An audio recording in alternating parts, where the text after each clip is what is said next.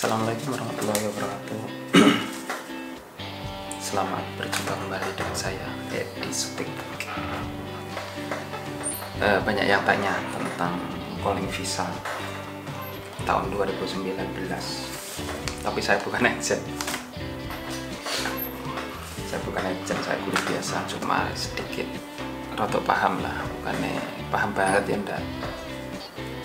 Karena ini untuk pengetahuan saja untuk pengetahuan rekan-rekan yang mungkin mau masuk ke Malaysia dengan oleh agen dijanjikan apa itu calling visa? Untuk perbandingan saja ini untuk perbandingan. Oke yang pertama yaitu dari majikan. Majikan yang ada di Malaysia itu harus mempunyai kelulusan yang masih aktif untuk mengambil pekerja dari luar negara ataupun dari Indonesia yang kedua majikan melantik agen Malaysia dan agen Indonesia. Untuk agen Indonesia harus mempunyai rekod yang bersih ya. Harus terdaftar pada Depnaker. Untuk yang kedua pihak pekerja yang akan masuk ke Malaysia.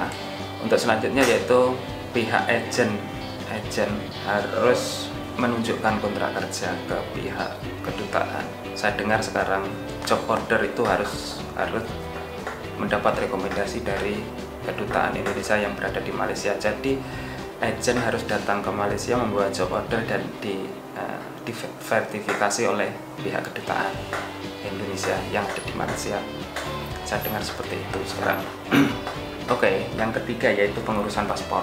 Eh, yang kedua pengurusan paspor. Ini pengurusan paspor harus melalui agent ya. Kalau yang paspor pertama, tapi kalau yang yang sudah mempunyai paspor bisa langsung digunakan atau yang dulu pernah ex Malaysia terus paspornya masih hidup bisa digunakan. Selanjutnya yaitu jadi dokumen itu filenya dikirim ke Malaysia. Ya untuk dicek mungkin untuk menghindari blacklist immigration security clearing yaitu bahwa orang tersebut tidak mempunyai rekod blacklist di Malaysia atau rekod-rekod jenayah di Malaysia itu ada ada sebuah kertas seperti ini hmm. seperti ini ini dari imigrasi Malaysia oke okay. terus selanjutnya yaitu setelah kita dinyatakan bersih tidak blacklist oleh pihak imigrasi Malaysia. Kita selanjutnya check up medical secara online ya.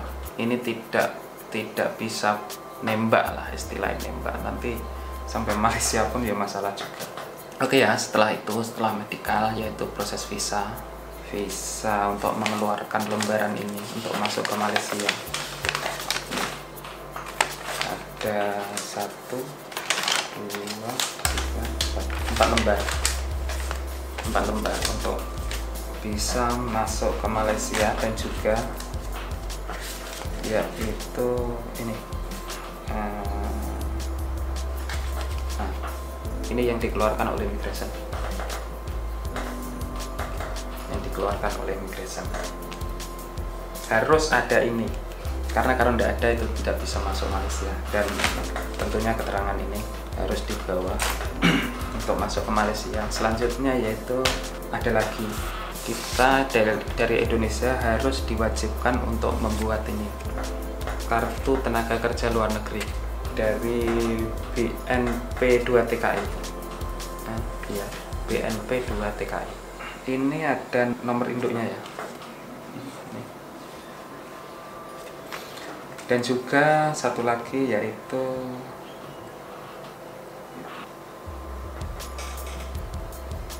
kartu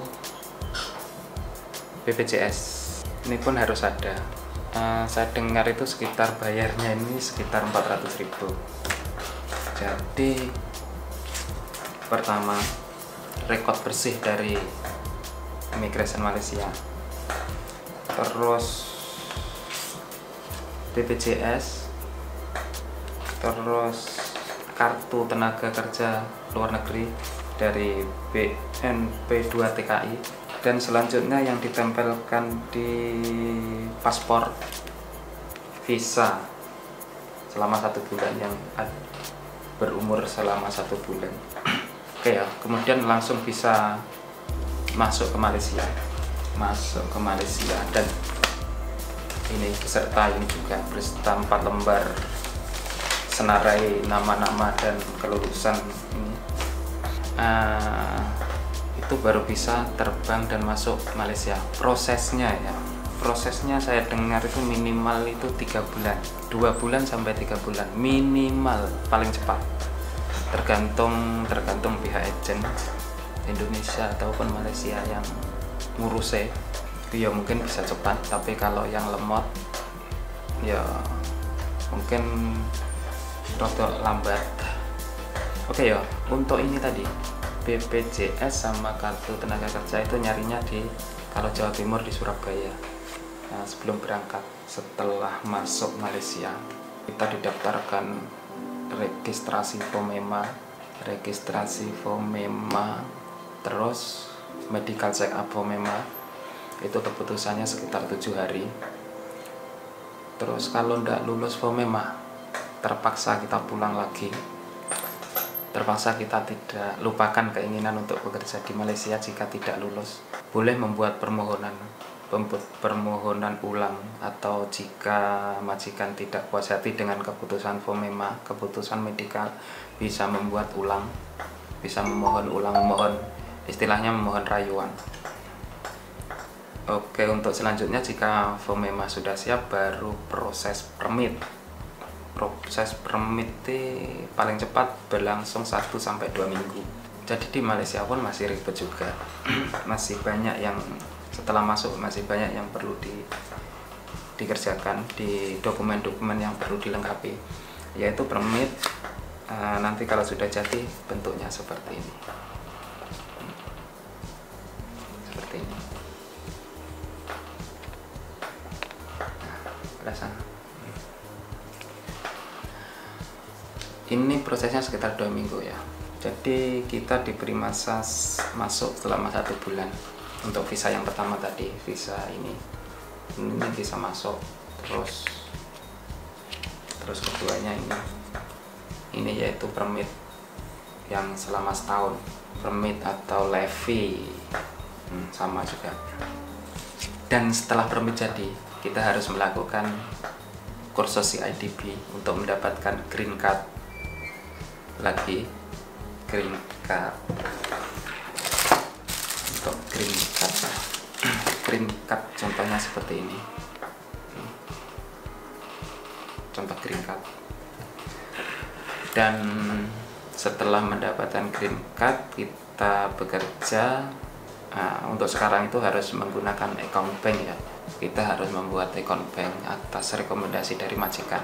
Kita tinggal datang saja ke ke uh, pihak anu ya, pihak bank yang telah ditentukan oleh majikan untuk membuat account dalam uh, nanti proses pembayaran gaji kepada kita. Jadi ya seperti itulah proses-prosesnya. Mungkin kalau ada yang menambah bisa ditulis uh, di kolom komentar. Mungkin saya dalam menyampaikan ada kekeliruan bisa ditulis kolom di kolom komentar. Oke tujuan saya. Tujuan saya untuk sedikit berbagi dikarenakan banyaknya uh, kasus ilegal yang rata-rata yaitu diiming-imingi akan dibuatkan permit setelah masuk Malaysia. Semoga saja dengan video ini membantu menambah pengetahuan panjenengan semua yang akan ke masuk ke Malaysia terus belum ngerti apa saja yang diurus apa saja nanti dokumen-dokumen yang dibawa ke Malaysia. Nah, untuk prosesnya ya proses sekitar 2 atau sampai tiga bulan minimal paling cepat 2 sampai tiga bulan. Oke ya mungkin sedikit berbelit-belit penyampaian saya minta maaf yang sebesar-besarnya. Salam TKI semoga sukses. Jangan lupa like komen jika saya sebarang pertanyaan. Dan jangan lupa subscribe. Maaf saya bukan agent. Assalamualaikum warahmatullahi wabarakatuh